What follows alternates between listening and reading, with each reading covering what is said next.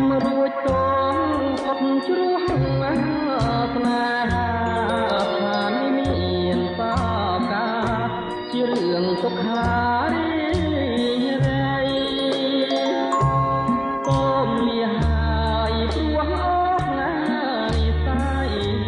អូនិស័យដើម្បីកុំឲ្យតណ្ហា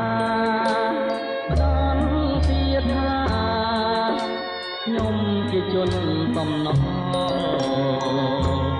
ជីវិតថ្លៃចៃបានណាវាសនាផ្លាយលោហិតមេតាដែលអស់សង្ខារយល់យើងទាំងពីរឆ្លងផុតឋានអំពលឋានអំពល